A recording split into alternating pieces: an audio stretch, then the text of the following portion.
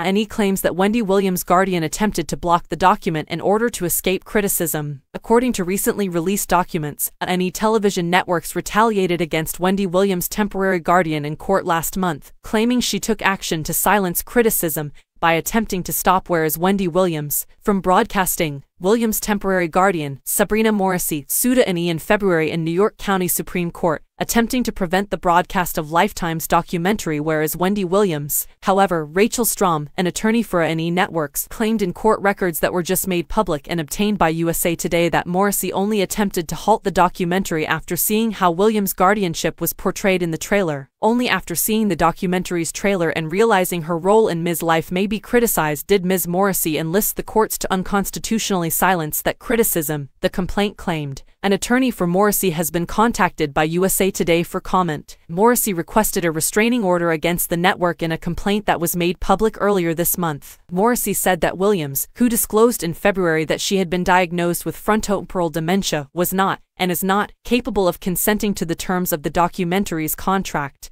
The actress did not, and could not, approve the manner in which she was filmed and portrayed in the trailer and documentary, the complaint stated, claiming that the film exploits medical condition to portray her in a humiliating, degrading manner and in a false light. The petition further noted that Morrissey was horrified by the release of the caravan and its contents, which falsely depict behavior and demeanor as being the result of intoxication rather than the result of her medical condition. According to A&E's attorney, Morrissey took no measures to prevent the documentary's release until she saw the trailer, in which she and the guardianship system appear in a negative light, where demonstrates that her purpose in seeking this prior restraint is simply to shut down public expression that she does not like.